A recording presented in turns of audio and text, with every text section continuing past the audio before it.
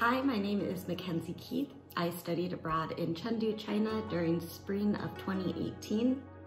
I chose China because I've studied Mandarin for years and always wanted to go to China and get to use it. I chose Chengdu specifically because in my research I found that it's considered to be very authentically Chinese. I really wanted that as opposed to the larger, more globalized cities in China. I heard that Chengdu was much more authentic, so that is why I made my choice.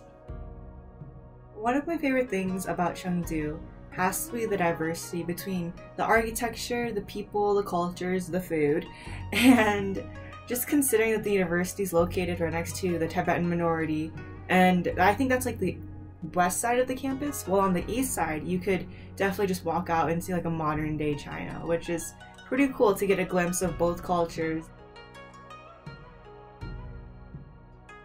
The most important lesson I learned while studying abroad in Chengdu is the sheer power of language. Locals are just so much more friendly and, you know, able to communicate with you if you have a decent set of language skills. I cannot stress that enough. Even if all you can do is order food, it really gets you a lot further in China. What I personally love the most about this particular study city is the fact that people were very generous, are very kind, and very open and willing. I finished the Shanghai tour with USAC. We started moving into Chengdu in the dorms.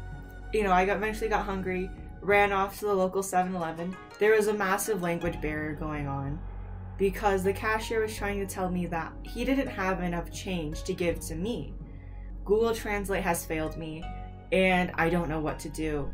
So a young university student, he he came up and understood the situation pretty quickly and became the translator for the both of us. He took it upon himself to pay for my things on top of his things. In America, you know, if someone does that for you, in theory, you would give them your cash. And he didn't expect anything in return. It was just a simple act of like kindness, and he's like, here you go. I can't really ever get over the fact that the people are really generous and really willing to help other people out. That's what I really love about that city. One of my favorite memories from studying abroad was getting to hike Mount Emei. Mount Emei is in western China, just a little bit outside of Chengdu.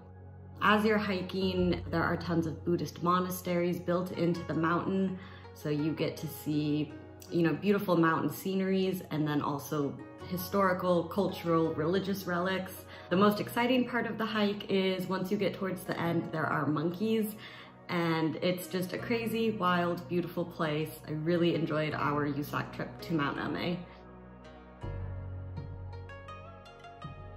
One of the biggest challenges I overcame while abroad was learning to live without all my little luxuries. You really do learn that things and items are not as important I realized that, you know, I was only abroad for six months and I can go six months without anything. You know, we think we need all these items and we really don't. Study abroad has changed me into a much more confident person. Just from my experiences studying abroad in Chengdu, you know, I know I can do difficult things and I can do them in English or in Chinese studying abroad really empowered me and made me feel confident in my abilities to just be an adult and do things around a city. Since study abroad, I completed a year-long contract working in Beijing. Study abroad 100%, you know, gave me this confidence and this push to even do something like that. Of course, I would never have ever thought to do anything like that if it wasn't for studying abroad in 2018 in Chengdu.